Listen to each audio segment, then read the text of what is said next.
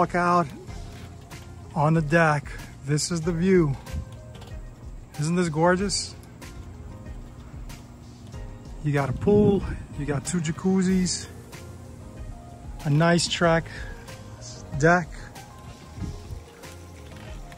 Look at this, this look at this playground for the little ones and